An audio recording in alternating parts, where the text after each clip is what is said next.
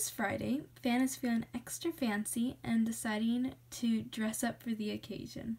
With his top hat, monocle, and mustache, he's ready for a good time while still quarantined.